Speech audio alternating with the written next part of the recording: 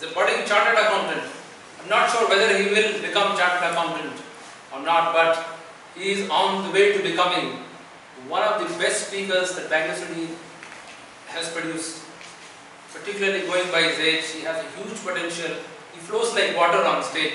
It's difficult to hold him back. So such kind of talent uh, is really rare to see. We are very happy to have him in our club. Today he is delivering a speech. Please, would I guess who it is?